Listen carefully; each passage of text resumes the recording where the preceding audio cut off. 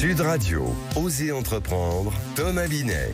Bonjour Thomas Binet. Bonjour Jean-Marie. Entreprenez, réentreprenez, on en parle tous les dimanches avec vous sur Sud Radio au programme aujourd'hui. Eh ben, je vais vous raconter la saga Orangina et notre grand Ouais. témoin Audrey Loy, présidente de Croissance Plus, un réseau de 480 entrepreneurs. On va parler entrepreneuriat, création d'entreprise et transmission.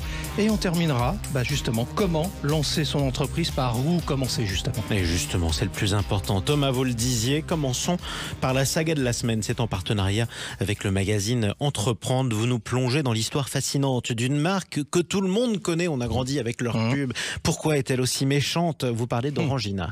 Oui, l'histoire d'Orangina est assez singulière et remonte à près de 90 ans quand même. Elle commence en 1936 avec un pharmacien espagnol. C'est en Algérie qu'il élabore une boisson à base d'agrumes avec une idée simple, capturer le goût naturel de l'orange. Il baptise sa création, sans l'accent, Naranjina, ce qui signifie littéralement petite orange en espagnol. Effectivement. Alors, comment la création locale devient un produit emblématique à l'échelle euh, internationale? Bah, c'est en 1951 euh, 51, pardon, qu'intervient un acteur clé dans cette histoire, Jean-Claude Beton. Ce jeune entrepreneur également installé en Algérie entrevoit le potentiel de cette boisson et décide de racheter la recette. Il rebaptise la boisson Orangina et surtout il innove avec ce que nous connaissons tous, la petite bouteille ronde avec sa surface granulée, inspirée de la forme d'une orange. Cette bouteille au design unique devient un symbole fort qui permet à la marque de se démarquer sur un marché alors dominé par des boissons plus classiques. Oui, c'est ça, une bouteille qui euh, aujourd'hui encore est très reconnaissable. Alors comment Orangina a su s'imposer en France et au-delà? Ah bah, grâce à un marketing très astucieux. Dans les années 50 et 60, Jean-Claude Beton mise sur la communication et le marketing. Il associe la boisson à l'idée de vacances, de fraîcheur et d'exotisme, des concepts qui plaisent énormément dans la France d'après-guerre. Mais c'est véritablement dans les années 80 que la marque connaît un tournant majeur avec le célèbre slogan Secouez-moi. Ce message rappelle de façon ludique contient de la pulpe naturelle et qu'il faut secouer la bouteille avant de la consommer. Ce geste est devenu un rituel pour les consommateurs, un élément distinctif qui fait encore la force de la marque aujourd'hui. Ouais, il faut bien secouer, sinon la pulpe elle reste en bas. Absolument. Dans les années 90, c'était ça. Alors un slogan qui a marqué les esprits, ça vous l'avez dit, c'est certain, mais que dire de la place d'Orangina sur le marché aujourd'hui? Eh ben, malgré la forte concurrence sur le marché des boissons, Orangina reste un acteur incontournable. La marque a su évoluer avec son temps tout en conservant son identité unique, ce mélange subtil entre authenticité et innovation. Aujourd'hui, elle appartient à un grand groupe japonais, Suntory, mais l'âme d'Orangina, elle reste toujours la même, une boisson qui incarne le soleil, la naturalité et Et puis une l'originalité. marque très forte, parce que tout le monde visualise la bouteille quand on Absolument. en parle, en fait, ça c'est vrai.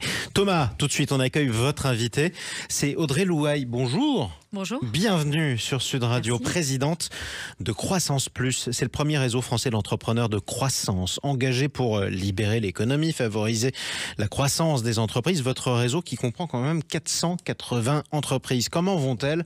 Mais c'est ce que vous allez nous dire, notamment aujourd'hui avec Thomas Binet. On va parler dans un instant de ce qui concerne nombre d'entrepreneurs, la transmission de leur entreprise. Mais avant toute chose, en cette rentrée, quel est le moral des chefs d'entreprise que vous côtoyez? Et vous êtes vous-même d'ailleurs chef d'entreprise. Oui, alors le moral, euh, il est, euh, on est dans une situation de, de statu quo et de- d'expectative. hein. On attend euh, notamment le vote du budget qui est notre principale échéance. Vous savez, les entrepreneurs, ils ont besoin de savoir où ils vont. Mm. Un peu comme dans nos entreprises. Nos, nos collaborateurs attendent de nous qu'on leur donne le cap, qu'on leur La donne la stratégie de la visibilité. Ouais, Et lisibilité aussi. Voilà, tout deux. à fait. Ouais. Et aujourd'hui, on on- il nous manque cette visibilité pour pouvoir se projeter et pour pouvoir aller de l'avant. Euh, et c'est dommage parce que on est euh, dans une dans une période où en fait on commence à voir une baisse des taux d'intérêt, Mhm. baisse de l'électricité également. Euh, voilà, de, de- un climat qui est peut-être propice à la reprise, une baisse de l'inflation aussi, qui m'a propice à la reprise, au, réinvestissement. Et malheureusement, on n'est pas on on- on n'est pas là. Alors justement, hein, il y a quand même, euh, vous l'évoquez, 30% des membres de Croissance Plus, votre organisation, qui ont observé une diminution de leur chiffre d'affaires depuis la dissolution euh, de cet été. Vous tirez aujourd'hui le signal d'alarme très clairement. Oui, alors diminution ou statu quo, en tout cas, sur Oui. le portefeuille de commandes. Oui, euh, nous ne pourrons pas payer l'addition de, de, de cette politique budgétaire et je pense que c'est important qu'on reste compétitif, notamment par rapport à nos confrères euh, européens. Euh, Vous, vous dites, pardon, que la France est mal gérée, en d'autres termes. Pas forcément mal géré, mais en tout cas mmh. qu'il faut euh, qu'aujourd'hui, euh, la politique de l'offre, elle a eu euh, des, des, des, effets très positifs sur nos entreprises, hein, avec un cercle vertueux de la croissance, et qu'il est important de conserver ce besoin de nos entreprises de se développer dans de bonnes conditions. Le, lorsque l'entreprise gagne, tout le monde doit y gagner, et que le meilleur moyen pour que nos collaborateurs gagne en pouvoir d'achat euh, euh, et, évite le déclassement, et eh ben c'est la croissance de nos entreprises. Voilà ce, que, ce que nous disons. Rentrons dans le vif du sujet, si vous le permettez. La création d'entreprises est préférée à la reprise. Comment vous expliquez ça? Je pense que probablement par une méconnaissance euh, de ce qui est possible de faire. Aujourd'hui, euh, euh, sur les 10 ans, on, cite le chiffre de 650 000 entreprises qui sont aujourd'hui, qui vont être à reprendre et la moitié qui vont mettre la clé sous la porte. alors je vous interromps tout de suite parce que ça c'est très important. 650 000 entreprises, que nos auditeurs l'entendent bien, c'est le nombre d'entreprises qui vont être à céder dans les prochaines années. Et vous savez dès à présent que globalement la moitié de 650 000 qui sont en survie peut-être qu'ils ne trouveront pas de repreneurs. Oui, tout à fait. Alors il y a une problématique, c'est d'abord le vieillissement du dirigeant. C'est valable dans les PME, mais c'est surtout valable dans les ETI, donc dans les entreprises de taille intermédiaire, premièrement. Et le deuxième point, c'est que les entrepreneurs ne préparent pas suffisamment l'après. Euh, et la succession de leur entreprise. Voilà. Et, euh, et le troisième point, c'est qu'aujourd'hui, il y a quand même une fiscalité prohibitive sur la transmission des entreprises, euh, notamment à ses collaborateurs. On parle beaucoup euh, de, la, de, de la transmission des entreprises à sa famille, il y a le pacte du trait mmh. qui est connu. Euh, il y a aussi la question de la succession, enfin de la transmission de l'entreprise à ses collaborateurs, donc avec euh, euh, cette possibilité de, de, voilà. Et aujourd'hui, malheureusement, euh, la fiscalité est extrêmement lourde dans ce cas-là. Et puis surtout, il y a des problématiques de de, de, de montant qui, est, qui est trop restreint, notamment pour les ETI. Alors, je vous entends axer beaucoup votre réponse sur la fiscalité. C'est le seul sujet. Vous ne croyez pas que c'est un peu aussi un état d'esprit, la transmission On prépare bien sa retraite, hein, on, le, on, le, dit dans Oser investir tous les dimanches globalement, mais on ne prépare pas forcément sa transmission quand on chef d'entreprise. C'est pas seulement une question de fiscalité, c'est peut-être une question d'état d'esprit aussi. Euh, une question de peut-être une méconnaissance tout simplement euh, de, de, de, ce qu'il est possible de faire. Euh, euh je pense que c'est beaucoup ça. Aujourd'hui, enfin, regardez sur Internet et cherchez la reprise de société, vous verrez que la création d'entreprise et la reprise d'entreprise, c'est complètement mélangé. Or, c'est pas du tout la même chose. Créer une start-up et reprendre mmh. une boîte. Donc, je pense qu'il faut peut-être valoriser l'accompagnement. Qu'est-ce que l'on peut faire pour aider des collaborateurs à trouver des fonds d'investissement, à trouver des financements, pour prendre justement euh, euh, les entreprises. Voilà. Alors on le dit jamais assez, mais on va le dire quand même ce matin. Il faut se rapprocher aussi de son expert comptable. C'est quand même un conseil dans ce domaine-là qui est celui qui connaît peut-être le mieux la vie de l'entreprise avec le dirigeant et qui peut essayer d'aiguiller justement sur cette facilité de transmission. C'est pas forcément la démarche des chefs d'entreprise d'en parler à leur expert comptable.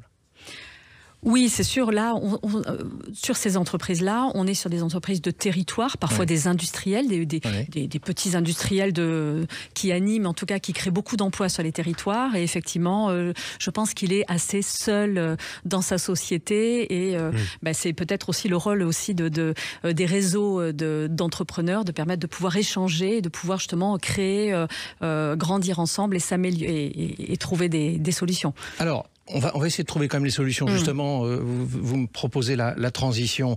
Quelles seraient les mesures à prendre pour faciliter ces transmissions et faire que la moitié des 650 000 entreprises trouvent repreneurs? Meilleure communication essentiellement, euh, se tourner aussi, on a aussi BPI hein, par exemple qui peut tout à fait Banque aider euh, d'investissement. Voilà, qui peut tout à fait aider euh, dans ces démarches-là.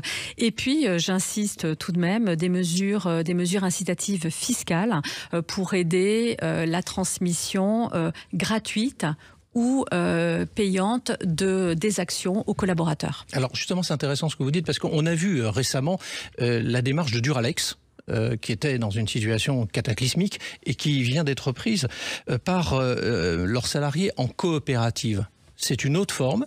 Ça peut être intéressant à étudier, ça aussi. Complètement, tout à fait. Je pense que la solution gagnante, c'est un mélange de reprise par les collaborateurs avec des fonds d'investissement et des partenaires bancaires. Et je pense que c'est un gage de confiance pour un fonds d'investissement d'avoir les collaborateurs aux manettes de la boîte. Qui, mieux que nos collaborateurs, est capable de porter la stratégie d'une entreprise, de, de, de bien la connaître Il n'y a personne. Merci à vous. Merci, d'être intervenu sur Sud Radio. Audrey Louaille, je rappelle euh, que vous êtes la présidente du réseau d'entreprises Croissance Plus. Tiens, un autre sigle qu'on avait employé, ETI, entreprise de taille intermédiaire. Vous l'entendez souvent, chers amis.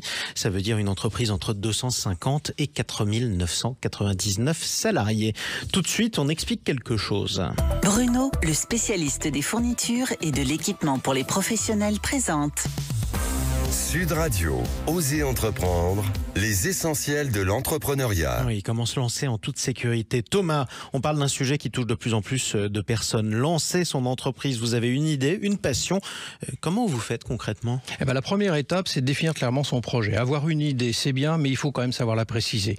Qu'est-ce que vous voulez offrir? À qui? Pourquoi est-ce que votre produit ou vos services se distingueraient des autres et comment? Bah, C'est ce qu'on appelle le positionnement. Une fois que vous avez clarifié cela, il est essentiel de faire une étude de marché bah, cela vous permettra de vérifier si votre idée répond à un besoin réel et si le marché n'est pas saturé. Vous allez explorer qui sont vos concurrents, mais comment ils fonctionnent et ce que vous pouvez apporter de différent. Donc l'étude de marché, ça c'est la base. Ensuite bah Ensuite, il faut penser à la structuration de l'entreprise. Choisir son statut hmm. juridique, SARL, société à responsabilité limitée ou SAS, par exemple, société par action simplifiée. Bah, ce choix est important car il impacte la gestion de l'entreprise et vos responsabilités en tant que dirigeant. D'accord, mais après avoir choisi le statut, quelles sont les étapes? Bah, Il faut penser au financement, bien Mmh. Évidemment, hein, quel est son besoin financier et auprès de qui trouver cet argent. Vient ensuite la stratégie opérationnelle, c'est-à-dire comment on va organiser la production de nos services et produits, quels partenaires on va mobiliser, quels seront nos canaux de distribution.